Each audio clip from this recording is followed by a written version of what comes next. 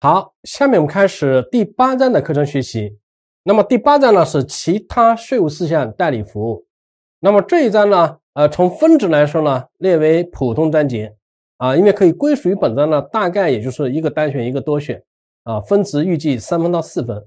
命题方式呢，主要是客观题。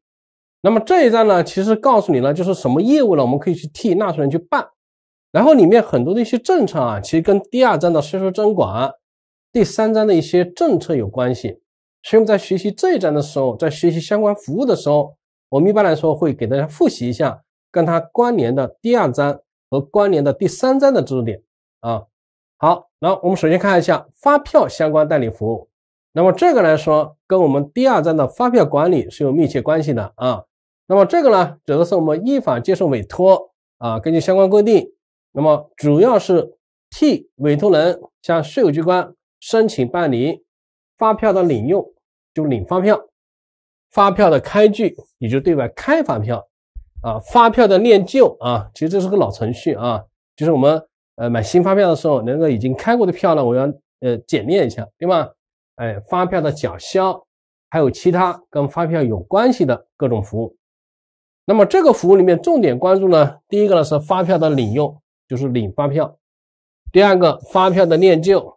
啊，念旧呢，主要是税务局给你念啊，但这个程序呢，现在很多地方都已经取消了啊。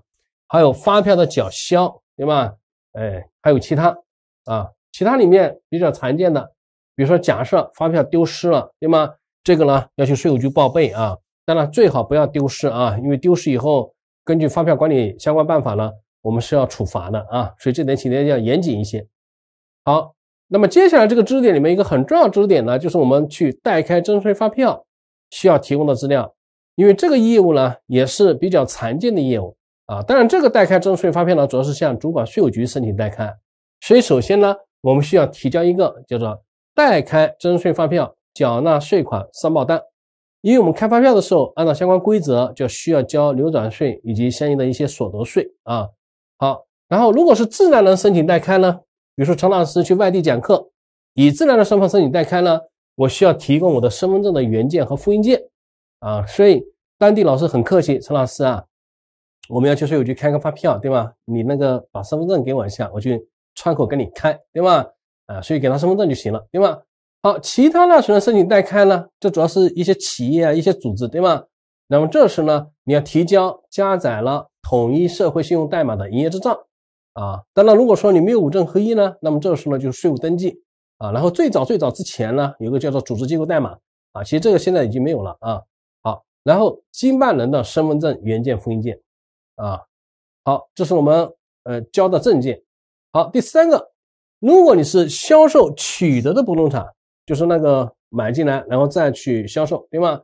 还有其他个人出租不动产，那么这两笔业务代开征税发票的时候呢，除了上面一和二的资料以外，你还需要提交。付款方啊，或者说接收啊劳务服务方啊，对所购的啊物品的品名，也就是劳务啊服务项目单价金额啊，出具一个书面的确认证明啊。这个说的很婉转，其实销售取得的不动产呢，应该签一个不动产的一个转让合同，对吗？哎，其他个人出租不动产呢，有一个出租的合同啊。其实我们这个书面确认证明呢，其实就是你把这个合同。要带过来，我们要看一下，对吗？避免呢，你你开的这个票呢跟你的合同对不上啊，所以我们要看这个东西。好，来到多选题，说发票相关代理服务啊，需要重点关注内容主要包括什么？啊，根据前面的提案，对吧？我们主要关注的是领用、念旧、缴销啊，以及其他啊，其他主要是什么丢失发票之类的，对吗？好，纳税人票占税表四者一次性审核，那么这个呢不是代理，这是审核，对吧？这个呢其实主要是我们前面啊，比如说纳税申报代理啊，啊还有一些什么见证代理啊，这个我们会去查，对吧？哎，票指的是发票，账指的是账务，税指的是税款，表指的申报表啊，这个也是分别对应到我们前面的第二章、第三章、第四章、第五章，然后这四章正好是重点啊，哎，但这个业务呢，它其实并。不是发票相关代理服务啊，它是另外一种，就是呃合规啊这种合理啊这种审核，对吧？对，所以这个呢不符合提纲要求啊，所以这道题正确答案是 A、B、C、D 啊，发票相关重点关注内容呢是发票的领用、发票的念旧、发票的缴销，还有其他啊。好，接下来呢是涉税信息报告事项代理服务，这个呢跟第二章的啊各种报到税务局的信息呢跟这有关系啊。这个也是一样的啊，我受你的委托，在权限范围之内，以委托人的名义代为办理。第一个基础信息报告啊，基础信息其实我纳税人的那些啊最基本的啊，哎，好。第二个呢，制度信息报告啊，比如说我的会计核算制度等等等，对吗？好，跨区域涉税事项啊，就是我们到啊省外啊进行相应的经营，对吗？好，资格信息报告啊，就我们获得的各种资格，对吧？还有一些特殊事项啊，这种报告业务啊。那么这个呢是大类啊，这几个大类，其实里面还有具体小类啊。首先第一个就是基础信息报告代理业务，这个呢一般有九项啊。那么这个呢，其实很多呢是跟你那个税务登记啊。或者说五证合一呀，啊税务基础信息啊，跟这个有关系啊。那么第一个呢是代理一照一一码付，啊，就把那个五证合一的，一照一码付的登记信息确认。那么这个来说指的是那个啊，我们对于那个已经实行了多证合一啊、一照一码的委托人，那么这个时候呢，其实大多数信息啊，你通过工商登记啊，我们税务局其实已经有了同步。但是呢，我们仍然有个要求，就是你们首次办理涉税事宜的时候。啊，这个一般来说叫什么？叫做新户报到啊，在我们实战里面，就是新成立的纳税户，我们有个报到，去哪里报到？去你的主管税务所报到，对吧？那么在新户报到的时候呢，啊，你就首次办理业务的时候呢，那么对于我们税务局按照市场监管部门它共享出来的信息呢，呃，它会制作一个叫做多证合一登记信息确认表啊，然后你要看一下，对吧？这个表里面啊，这个有没有错呀？啊，是否有不准确呀？啊，是否不全啊？对吧？那对于不全的呢，你要补充，对吧？呃，然后对于不准确的呢，你要更正啊。这个会有啊，比如说错别字啊，对吗？呃，号码呀，对吧？呃，这个这个可能有的有错误啊，所以你要去对一下，对吗？哎，这叫做一照一码付登记信息确认。好，第二个呢是个体官复，那么个体官复呢，现在执行的是两证整合，就是工商执照跟税务登记两证总呃这个。整合对吧？那么它也是一样的啊。对这种啊两证整合的个体官复，你在首次办理涉税事宜的时候啊，这也就是前面所说的新户报到的时候，那么我们税务局呢，根据外部信息交换出来的这个数据啊，这个登记表的数据和其他信息呢，哎，你做个确认啊，这个就相对简单一点，因为你是个体户，对吧？其实我们真正复杂是前面那个一照一码的那个啊，相对复杂，信息也多一些啊。好，第三个呢是一照一码付的信息变更，嗯，这主要主要是什么？主要是我们在日常经营过程里面，我们有些东西啊发生了变化，对吗？对于委托人啊，一照一码付市场监管部门登记信息发生了变化，那么这个呢，我们是向市场监管部门去办理相应的变更，啊，变更完以后呢，它自动会同步到我们税务局，对吧？但是里面的生产经营地、财务负责人这些信息。那么市场监管部门呢，呃，不登记，对吧？就不在市场监管部门登记，所以这些信息发生变化以后呢，你就直接找我们税务局，对吧？也就这些东西就不要去找市场监管局了，找我们税务局。你要找税务市场监管局的呢，一般这个信息它会同步到我们税务局，对吧？所以这两个就找我们税务局啊，然后这个事情你来代办一下。好，第四个呢，就是两证整合个体官复的信息变更。啊，这个其实跟第三个一样啊，但这个指的是个体官复，对吧？哎，然后呢，呃，如果向市场监管局申报的信息啊，或者经过申请以后啊，向税务机关发起变更的信息啊，也是一样的。如果说这个事情这个事情啊，变更的东西归市场监管局管，你就跑到市场监管局就行了。他变完以后，税务局这边会同步进行更新，对吧？如果这个事情市场监管局不管，那你就找到我们税务局，对吧？因为这个事情市场监管局不管这个事，对吧？你要找税务局啊。好，第五个呢是纳税人扣缴义务人啊，他的身份信息报告啊。那么这个来说，主要是针对什么呢？哎，针对那些不适用，注意啊，不适用一照一码两证整合的委托人，在满足特定情形时办理纳税人扣缴义务人身份信息报告啊。这个来说，呃，比较常见的呢，比如说我们那个呃个人所得税的一些东西，对吗？你做一些信息确认 A 表、B 表，对吗？第六个，代理自然人自主报告身份信息业务，这个是我们接受委托对负有纳税义务的中国公民、外籍人员、港澳台人员啊这些委托人，他要向税务机关报告身份信息，就是他自己主动要去报告啊，那就叫自主报告。其实我们大多数情况下呢是下面这个啊，就是由扣缴义务人报告你的自然人身份啊。这个意思什么意思呢？你可以这么理解哈，比如说下面的扣缴义务人，比如说领工资的时候，对吗？你领工资的时候，人家不是要给你代扣代缴吗？那么这时候你呢要报告你的姓名、身份证号，对吧？以及个人信息啊。那么我们在首次向自然人支付啊相关的所得，比如说工资、劳务，对吗？哎，那么这时候应当在次月扣缴申报，就次月十五号，要向税务局报告自然人纳税人提供的身份信息啊。那么这里呢，它分为 A 表、B 表，对吧？哎。然后呢，哎，A 表呢，呃，就是我们那个正常的扣缴啊，B 表呢，就是你自己去申报，对吧？哎，那么上面这个呢，呃，你可以这么通俗理解，比如说取得经营所得的，对吧？哎，还有呢，从境外取得所得的，对吧？哎，那么这些呢，他就自己要去申报啊。然后我们普通的呢，领工资呢，领劳务呢，那人家会扣缴，扣缴人家就会跟我申报，对吧？是这个意思。好，第八个。代理解除相关人员关联关系的这种业务，这个是什么意思呢？这个就是我们的身份证啊，被人家冒用了，然后冒用以后呢，被登记为法人代表了、财务负责人了，或者其他办税人员了。那么大家这个也知道啊，我们在第二章讲过啊，假设这个企业出问题了，那么这个时候它会自动关联，对吗？关联这个法人代表、财务负责人、其他的呃经营的企业，所以这样呢，对于啊别的企业就有影响。但是这个情况下呢，是你的身份证被冒用了，对吗？所以冒用了以后呢，我们需要向税务局申请解除这个关联啊。这个呢，主要是你的身份信息泄露了，对吗？哎，好，第九个呢是税务登记证的补发和增发啊。补发呢，主要是那个丢了，对吧？毁损了啊。增发呢，主要是我们那个嗯办业务，大家都要带着证件出去，对吧？你你多发两个证嘛，对吗？哎，所以遗失了。损毁了，我办业务呃要多几个证，那么这就是了补发或者增发啊。那么这个呢，我们也可以去代办啊。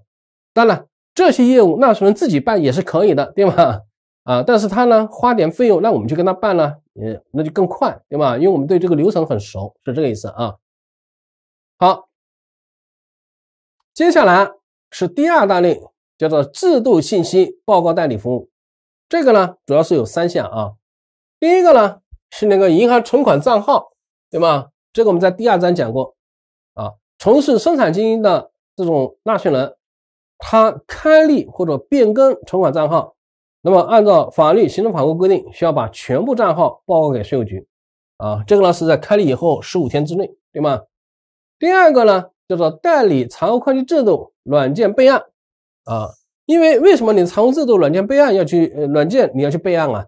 因为财务制度直接决定了，比如说你的存货计量啊，对吧？呃，还有你的折旧啊、摊销啊，那么这些东西都会直接或者间接影响到企业所税，对吧？核算软件也是一样的，我们需要你是正规软件，对吧？这个软件应该给你做各种提示，对吧？比如说你购买的用友啊、金蝶啊，那这些软件都很好。但其实现在有一些这个小小的这种软件，对吧？甚至免费的软件，那么这些软件呢都要做一下备案，对吗？你要把你的财务会计制度啊、财务会计处理方法。啊，你的会计核算软件要到税务局做个备案，对吧？哎，这个这走个流程就行。我们税务局其实也不会说什么，反正你备下案，对吧？我用的是什么制度，然后里面的一些政策什么，对吧？你备下案，然后以后检查的时候就按照你备案的这个口径去执行就行了。啊，这个呢也是要求在十五天之内啊。我们注意一下实现性的规定啊，因为很多单选题呢会考实现性的规定。好，第三个呢是代理啊，银税三方委托划缴协议的业务。哈，这个业务是什么意思呢？这个业务啊是这样啊，我们现在用的都是电子缴税系统。那么这个时候，我们税务局开户函，还有我们的这个纳税人，对吧？哎，这时候我们会签个叫做双方协议或者委托划转税款协议啊。因为基本上我们现在百分之八九十的纳税人都是签这个协议。签完这个协议有什么好处呢？通过电子税务局，你首先进行纳税申报，那么纳税申报啊。点击下一步呢，它就会提示你，征集纳税人你要交多少税，对吗？是现在交税还是以后交税，对吗？如果你点击现在交税呢，它自动的就会跳到相关页面，然后你点击确认，呃，通过哪个银行去交税，一般是通过基本户去开交税，对吧？哎，然后点击，对吧？那自动就把税交了，不像以前带着单子，对吗？去银行窗口去交，就是太慢了，对吧？我们现在点几下，这个税就交掉了，对吗？啊，但是这个呢，要签个叫做银税双方啊委托划缴协议，要签这个协议，签了协议就可以很轻松通过网络直接交税。你要不签这个协议呢，你就继续带着资料去银行窗口去交税，对吧？是这个意思啊。好，接下来是跨区域涉税事项信息报告，这个呢也是有三项业务啊。第一个呢是你还没有走出去之前，就是你想去，那么这个时候呢，你首先要去填报一个叫做跨区域涉税事项报告啊，这个针对是跨省的哈，跨省临时从事经营活动，你要向机构所在地啊，你的主管税务局填一个叫做跨区域涉税事项报告表，这个告诉你的。呃，机构所在地税务局，我要出去了哈，我要去天津做生意了哈，你要告诉你的主管税务局。好，那么你告诉了主管税务局以后，那我们天津税务局管不管呢？那当然管啊。接下来是第二件事情啊，对吗？叫做跨区域涉税事项的报念，也就你在首次在经营地啊办理涉税事宜的时候，你需要向经营地的税务局啊，你做一个报念，对吧？我不说了吗？你机构所在地在北京市海淀区。那么你的第一步是在海淀区先报一下，告诉海淀区税务局我要去天津了啊。然后经营地假设是天津市和平区，对吧？那你真正去了天津市和平区以后，第一次去的时候要跟和平区税务局说一下，我来了哈，对吧？从现在开始我接受你的监管，对吧？所以出去要跟机构所在地打招呼，到了以后要到经营地所在地打个招呼，对吧？哎，告诉海淀区我要出去了，告诉和平区我来了，对吧？好，那老师我要走了呢？你要走了就第三个呀，就是跨区域涉税事项的反馈呀。啊，这指的是我的活动结束了，对吧？哎，我要回海淀了，对吧？那么这时候你首先要结清，注意啊，要结清经营地税务局啊你的应纳税款及其他事项，就是要结清刚才那个和平区的啊。你金地，我这里举例呢就是天津和平区，对吧？你先把和平区的税结完。结完以后呢，哎，在金地税务局，就在天津市和平区税务局，你要填个金地的涉税事项反馈表，然后告诉人家和平区我要走了哈，对吧？人家和平区办完以后说好，欢迎下次再来啊，对吗？哎，就这么回事，对吧？好，接下来是资格信息报告代理业务啊，这个有八项，这个主要是跟资格信息有关系的啊。第一个呢是代理一般纳税人登记。啊，因为我们一般纳税人这个资格呢，它是登记制度，对吧？哎，对于年应税销售额超过了财政部税务总局规定的小规模纳税人标准啊，这指的是年销售额五百万，年销售额呢指的是按月算呢，啊，就连续十二个月啊，按季度算呢是连续最近的四个季度，对吧？哎，你超过了五百万是不含税金额啊啊，或者说虽然没有超过这个标准，但是会计核算健全，能够提供资料呢。你呢都可以到我们税务局办理一般纳税人登记啊，所以这个呢其实也是有个筹划方案的，对吗？就是我这个没有到五百万，我要筹划一下，我到底是一般纳税人呢还是小规模纳税人？那要比一下你的计项税有多少，对吧？哎，好，第二个呢就是选择按照小规模纳税人纳税的时候啊，我要报一些资料，这个指的什么呢？这指的是那个非企业型单位啊，但是它的年销售额超过了五百万。但是呢，他又不经常发生纳税义务，对吧？所以这种单位和个体官户呢，啊，他可以选择继续按照小规模交税，但这个时候呢，他需要到我们税务局提一个书面的说明，对吧？为什么？因为你本来按照政策就应该是一般纳税人了啊，但是你符合特殊政策，所以你还是按照小规模。那么这种情况下，你要提一个书面说明，对吧？继续选择小规模。当然，你要选择一般纳税人也行，对吧？所以这里呢又有选择空间。但凡有选择空间的。其实就是筹划的思路，他要没有选择空间呢，就没有筹划思路啊。好，第三个，代理一般纳税人转登记为小规模啊，这个业务呢，其实是在二零二零年十二月三十号已经结束了哈，现在已经没有延续了啊。它指的是呢，转登记日之前连续十二个月或者连续四个季度呢，你没有超过五百万，那么像这种一般纳税人呢，它可以让你转回到小规模。啊，因为小规模出台了一系列政策，包括减税、免税政策，对吧？哎，所以它允许你转回来啊。但这个政策在二零二零十二月三十号已经结束了啊，所以实在目前在实战里面这个业务已经停止了啊。好，第四个呢是货物运输业小规模纳税人异地代开增值税专用发票的业务啊。这个呢，其实在我们前面讲发票的时候讲过，对吧？啊，对于那种小规模的这个货物运输企业，对吧？哎，它的这个呃运营资质啊，就是那个交通运输部门的运营资质，对吧？呃，船舶信息啊，需要到税务局做个备案。备案以后呢，啊，他提供了公路或者内河运输。啊，需要开专票呢，可以选择税务登记地、货物起运地、货物到达地，还有运输业务承揽地，包括互联网物流平台。啊，这里面的任何一个地方可以就近申请代开专票。啊，这其实是我们税务局制定一个充分便民活动，对吧？就是以前我们只会限定在一到两个地方给你开票，现在这几个地方你自己选。啊，好，第五个。代理征税适用加计抵减政策声明，这个呢是每年啊，每年年度首次确认啊，我们适用加计抵减政策的时候呢，我们要向税务局递交一个叫做适用加计抵减政策声明。那么这个版本呢是我们最新版，也就根据啊我们这个财税啊二零二三一号文件啊，就我们那个最新的那个百分之五啊百分之十的那个啊，根据这个文件我们看了一个模板。这个呢，主要是给大家增长一下这个实战经验啊。这个应该原则上考试应该不做要求啊，大家看一下就行啊。好，第六个就是农产品计价税扣除标准有个备案啊。这个呢，主要是指什么呢？指的是我们那个在第四章会计核算的时候，我们不是有个农产品计价税核定扣除试点吗？那么纳入到试点范围的这个委托人，他在购进农产品销售的时候啊，还有购进农产品。用于生产经营且不构成货物实体的时候，那么这个时候他在申报缴纳税款的时候呢，要向税务机关做个备案啊，然后这个事情呢可以由我们税务师去做啊。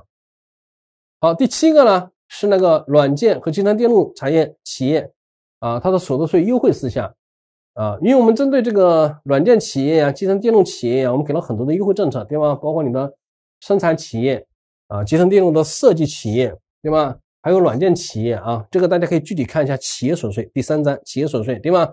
啊，我们有很多的优惠政策。那么他们在完成年度汇算清缴以后啊，然后在汇算清缴结束之前，我们汇算清缴是五月三十一号结束，对吗？我们有个叫做企业所得税优惠事项管理目录，然后里面有个后续管理要求，根据这个要求啊，列出清单向税务局提交相应的资料啊，因为集成电路啊、生产呀、设计呀、软件啊。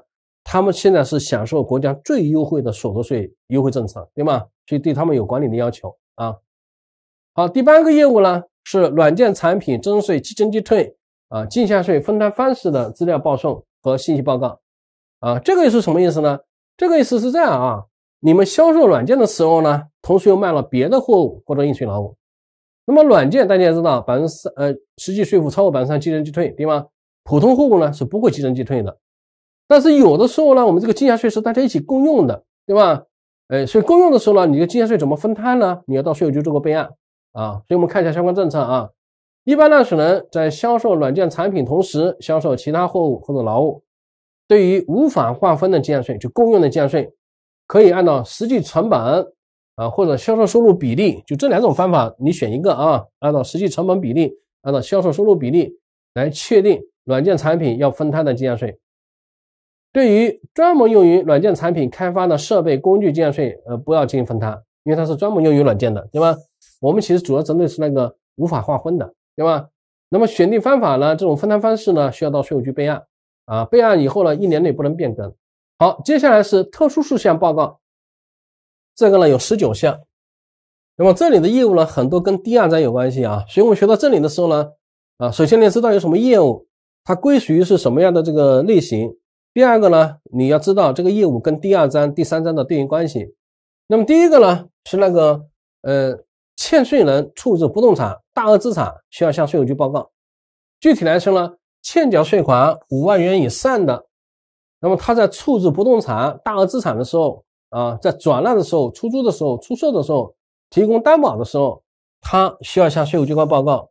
为什么？因为我怕你个事情影响到我们的这个。呃，税款征收问题，对吧？第二个呢是代理纳税人的合并分立啊情况报告，这个也在第二章有说明，对吗？哎，你在合并分离之前呢，你要向我们税务局报告要结清税款。如果你没有结清呢，要没有结清，对吗？由合并以后的企业承担相应的责任啊，分离以后的企业承担连带责任，对吧？哎，所以这个要做个报告，结清税款。好，第三个呢是代理停业登记。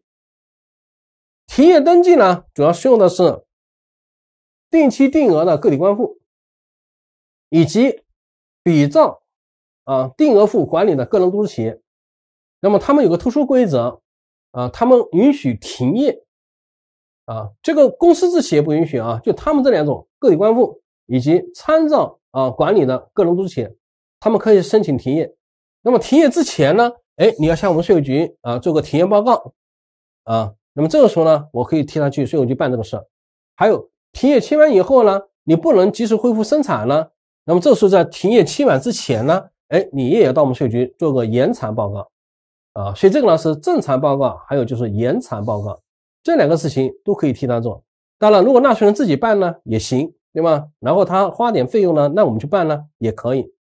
好，接下来是副业登记报告。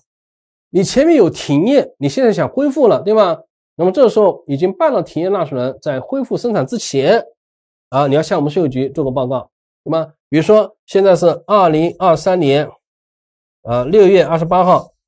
然后呢，我准备二零二三年七月一号恢复呃那个，那么这时候我就在这个之前要向税务局报告一下，对吧？哎，我要恢复经营了，因为恢复经营以后就把税务登记证啊、发票啊、税控机要领出来，对吧？哎，你在停业期间呢，这些东西要缴回去啊，是这样的啊，所以它中间是有些监管要求的啊。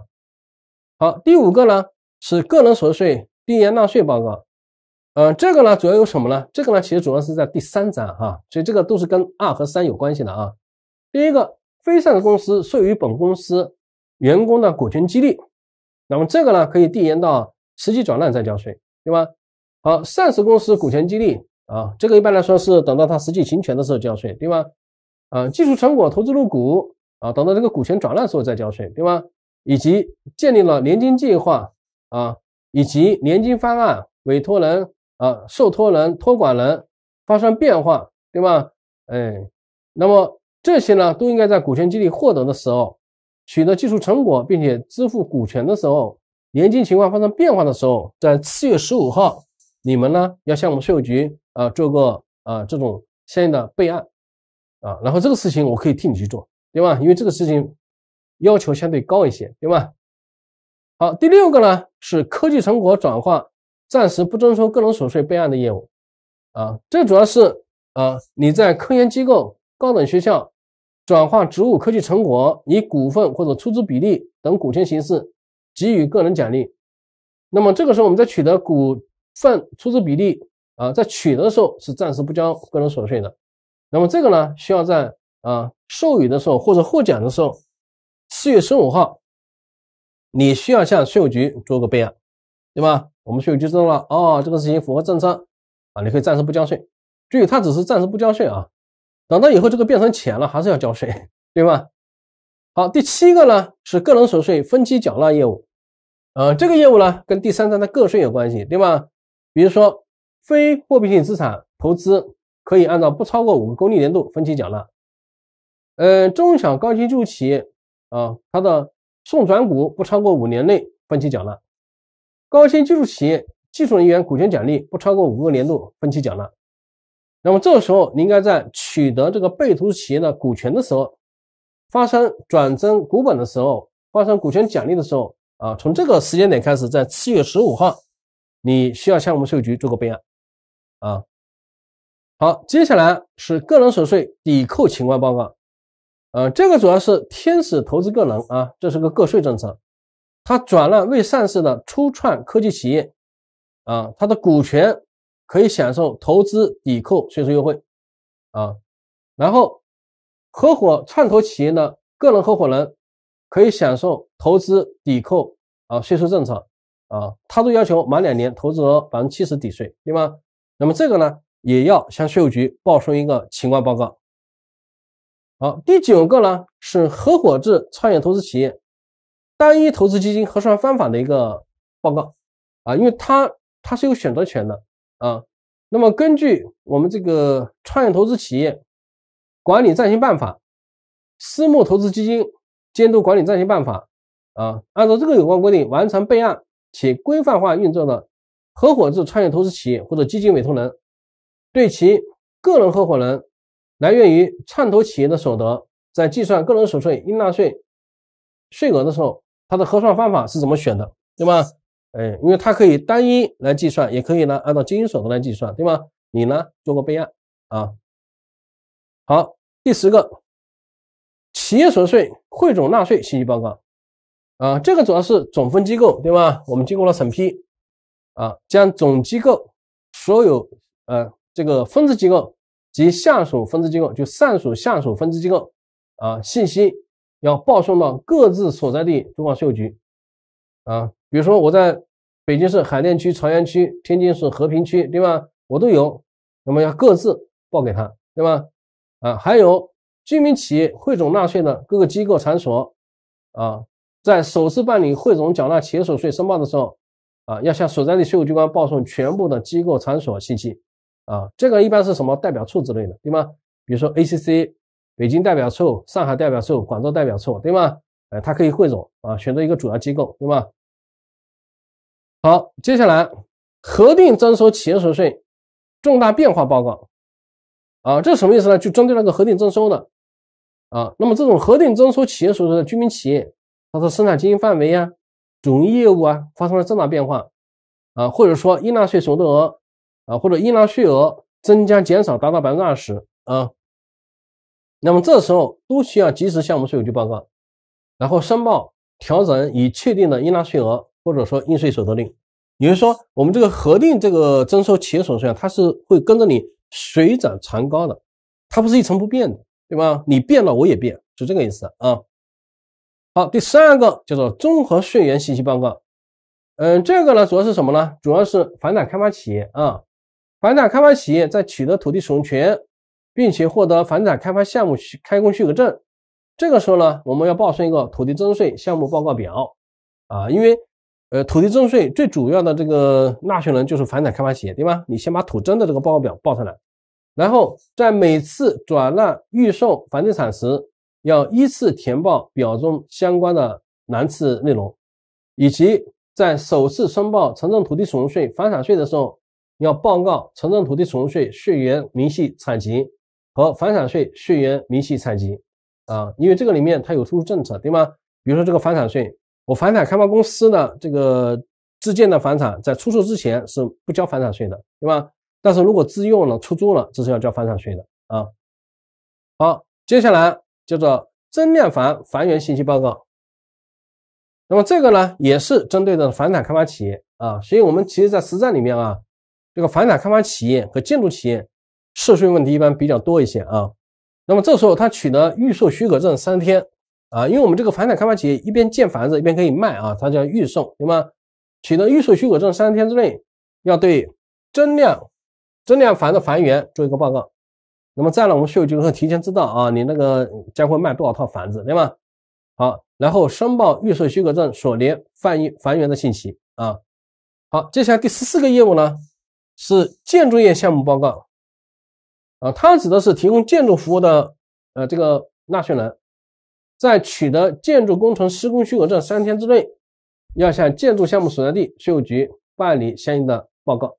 啊，为什么？因为建筑服务需要在当地啊，就跨地级市啊，建筑服务需要在当地预缴，对吧？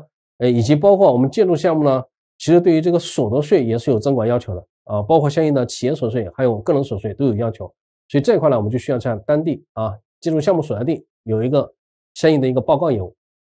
好，第十五个呢是注销建筑业项目报告，啊，这个指的是这个项目做完了，对吧？完工了，那么完工之日起三天之内呢，你要向建筑服务发生地税务局呢做一个报告，啊，前面是进去的时候，对吗？你得告诉人家我来了，现在呢是你要离开了，你要告诉人家我要走了，对吧？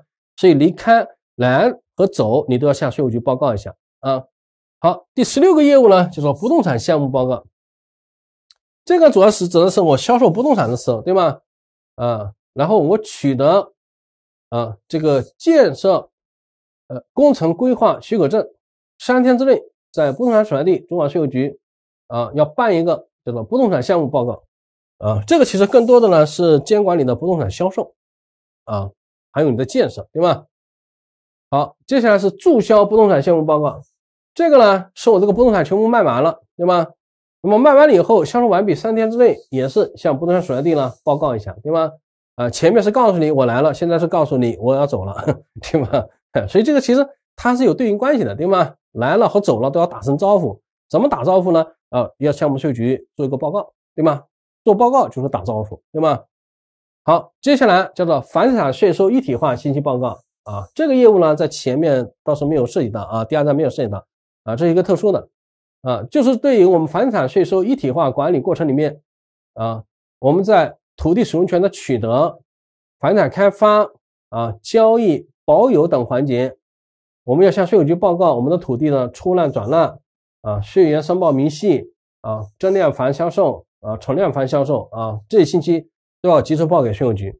所以客观说，房产公司啊，一直以来是各个地方啊这个重点税源啊，一个是房产公司。一个是烟酒公司，对吗？哎，这些这些税也都很多的啊，所以我们会让他们报告的东西很多啊。好，接下来叫做税收统计调查数据采集啊，就我们税务局也要统计很多数据啊。那么这个呢，要向税务局提供税收财务经营的第一手资料啊，具体包括啊，嗯，税收资料调查企业数据采集、企业集团数据采集、重点税源企业数据采集。消费税涉税信息采集啊，当然如果中间没有啊，比如说老师我没有消费税，那就不用采集，对吧？啊，或者说我不是重点税源户，那也不用采集。但如果属于了，你就要采集相关信息，对吗？因为这些信息对于我们国家啊，第一个评价现在的这个税收和税负啊有帮助；第二个，对于未来我们怎么定税收政策、怎么控制税负也有帮助啊。好，我们来到题，说下列属于特殊事项报告代理业务的有。